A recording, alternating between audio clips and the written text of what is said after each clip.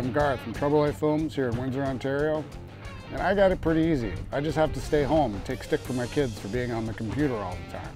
Jamie Waldron is my good friend. He's a butcher up in the Hamilton area. He's finding unique and interesting ways to do business, as a lot of people in food service are. I talked to him for a little bit about this and where he thinks the industry is going. At the end of this and further beyond. You hear in the news that this plant out west is closing because of COVID. Um, but I mean, it's like most people are smart enough to realize that the animals are still on the farm. This is just a matter of processing, right? Yeah. So, like, I mean, like the idea of a sh- of meat shortage is not really in the card so much because, as I said, like the animals are there. How does that change things for you as an independent?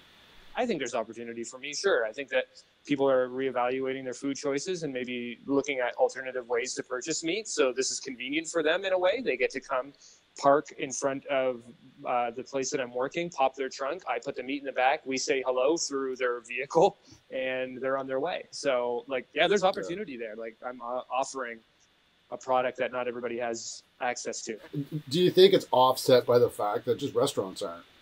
Restaurants aren't using meat now, like, is that's a huge thing? Or do you see? Do you think, at least from where you're sitting, do you see like a, a rise in demand or less? Oh, abs- a rise. Like I, I had to switch poultry suppliers because while they may have dealt with a lot of restaurant clientele, um, they need those birds now to supply butcher shops and private sales. Yeah. So where the restaurants aren't taking that product, they're happy to have it to supply these other uh, sources of income that they need.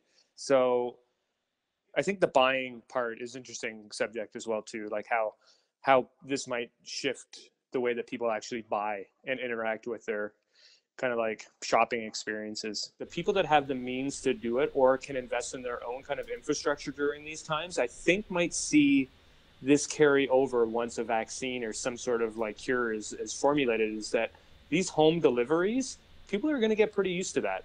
People are getting pretty used to being able to call up our mutual friend Vern in Kingsville and getting a pizza, a couple burgers, and some beer dropped off at their house. Oh, That's God. pretty awesome. Exactly. Right. Yeah. So it's not bad. I'm like, I'm thinking like the yeah. grocery chains of the world that that have the means to invest in refrigerated trucks. Like it, I you know, I don't think you need to flip your business model on its head, but it's just like, no.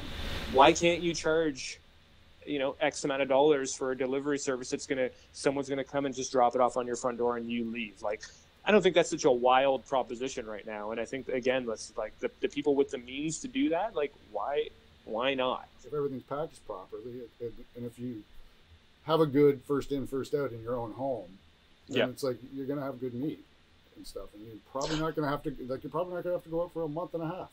Yeah, I mean, shopping yeah, like the, the the share program at twenty pounds a share has been lasting people a couple weeks, a couple three weeks, and I think it's I think it sticks to that mentality too, is that they know that they can grab it, it can go right into the freezer, and they can just kind of eat their way through it, mm-hmm. and then they'll email me again, and they'll come back and they'll pick it up, and we don't have to really even have an interaction. I don't take offense to it. If you don't want to talk to me, no, pop your trunk, let me know. Te- text me and tell me what your car make and model is. Pop your trunk and leave. I don't like. Yeah I, I don't need that gratification, um, you know, out of that that face to face. It's you know it's nice when it happens, but like I think that that's it's it's proving to be, um, you know, an interesting way to do it, and I'm a fan of it. What was the great tweet from Ice T I saw? It's like if someone owes you money, now's the time to go get it because you know they're at home.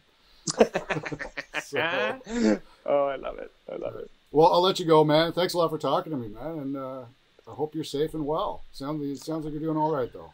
Yeah, things are okay. I hope you guys stay well too. Um, I mean, we, we can obviously have a conversation when it's not on video and and uh, talk about all sorts of other things.